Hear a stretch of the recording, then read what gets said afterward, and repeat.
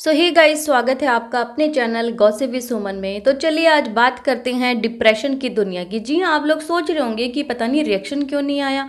तो एक्चुअली मैं इसको देख के खुद ही डिप्रेशन में चली जाती हूँ, मैं क्या करूँ?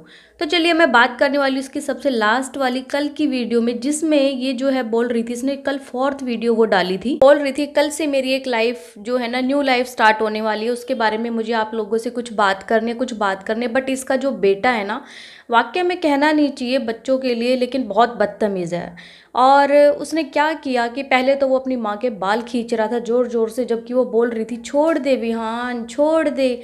पर नहीं, उससे भी बाज नहीं आया, फिर बालों को मुँह में डाल के बैठ गया। और ये खुद बोल रही थी कि मैंने बाल वॉश नहीं करे तो तू जो है ना इन्हें छोड़ दे। तो वॉश की तो बात छोड़ो, आपको पता है ना कि कितने दिन से ये नहाई भी नहीं है। इसने एक ही जैकेट और नीचे वो ब्लैक कलर की एक टी शर्ट डाली हुई है, क्योंकि दीदी को सर्दियों में लगती है ठंड तो ये नहाने से जो है कतराती हैं। अच्छा बात करें उसके बाद की, जब भी उस, जब उस बच्चे ने नहीं छोड़ा ना तो उसने क्या किया? खड़ा होकर सीधा लात मारी अपनी मम्मी के मुँह पे। उसको गुस्सा तो आया होगा, लेकिन उसने कुछ बोला नहीं। फिर भी वो अपनी जो है वीडियो को कंटिन्यू करती रही, क्योंकि उसको ना व्यूज़ की भूख है, बहुत ज़्यादा ही भूख है। अदरवाइज़ एक बात बताइए बच्चा इतना बदतमीज़ हो रहा है, आपके ऊपर हाथ उठा रहा है, क्या कैमरा बंद करके उसको एक चाटा नहीं लगा सकती? क्या उसको रोक नहीं सकती अपने बच्चे को कि क्या मैनर्स हैं, क्या नहीं है? और एक्चुअली बच्चे की भी गलती नहीं है। जैसा आप बच्चे को शुरू से बनाओगे ना, वो वैसा ही बनेगा। अब मैं आपको एक यहाँ की एक बात बताती हूँ। हमारे यहाँ पड़ोस में एक लड़का है एक्चुअली अब तो वो बड़ा हो गया, पहले वो छोटा था तो वो क्या करता था ना, अपने मम्मी पापा को मज़ाक मज़ाक में मार देता था। तो जब आस पड़ोस के लोग उनको बोलते थे ना कि ऐसे हाथ मत उठाने दिया करो, क्योंकि बड़ा हो गया ना, फिर ये इसकी आदत बन जाएगी, मारेगा। लेकिन उसके माँ बाप ने लापरवाही करी और ना ही लाड लाड में बच्चे को जो है मना नहीं किया, और आज का वो टाइम है। कि वो अपने माँ बाप को अच्छे से मारता, पीटता, इवन घर से निकाल देता है। तो ये क्या है ना, अपने हाथ में ही होता है। जैसा आप बच्चे को बनाओगे, वैसा बनेगा और उसके अंदर ना वो डर भी ख़त्म हो जाता है बच्चे के अंदर। तो यही हाल कुछ जो है ना, इस मैडम का ही होने वाला है आने वाले फ्यूचर में। जैसा कि ये बच्चे को इतना ज़्यादा बिगाड़ रही है ना तो इसको ये नहीं पता कि ये इसको ही नुकसान करेगा। कल को बड़ा होके तुझे ऐसे ही मारे कुटेगा ये। फिर बात कर लेते हैं इसकी थर्ड वीडियो की, जिसमें ये अपनी माँ के ऊपर फिर दोबारा से ब्लेम लगा रही थी कि मेरी माँ तो ऐसे ऐसे मेरी बेइज्जती करती है लोगों को पड़ोस में मेरी बुराई कर रही थी कि मैं तो अच्छी भली वहाँ से आई थी, अपने बड़े बेटे के घर से यहाँ आके बीमार हो गई। तो वाकई में वो यहीं आके बीमार हुई है, वो तो ठीक करके भेज देते हैं, लेकिन यहाँ पे जो जितनी गंदगी, जितने कीड़े अनहाइजीन जितना ये रखती है, उसी की वजह से इसकी मम्मी बीमार होती है।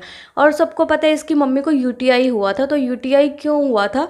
अनहाइजीन की वजह से सिर्फ़ वो होता है और बार बार ही होता है, इसीलिए।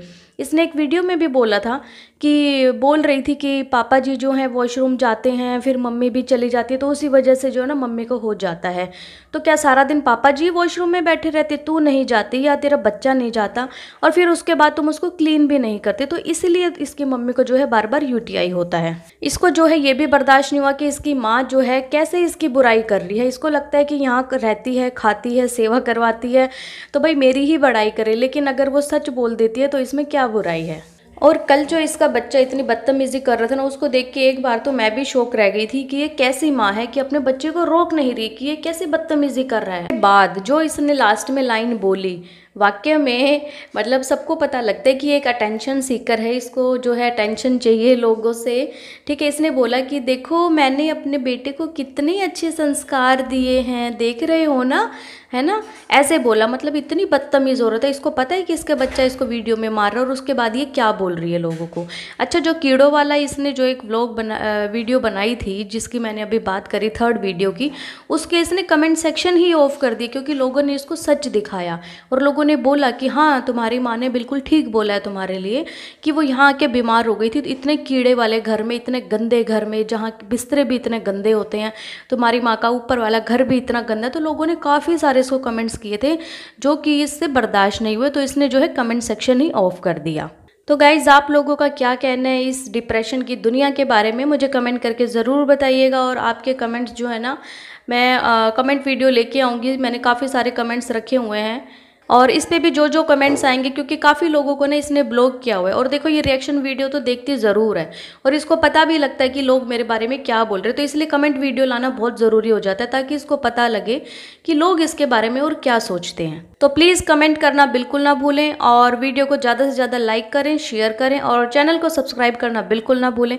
सो बाय मैं मिलती हूँ आपसे एक न्यू रिएक्शन वीडियो में। बाय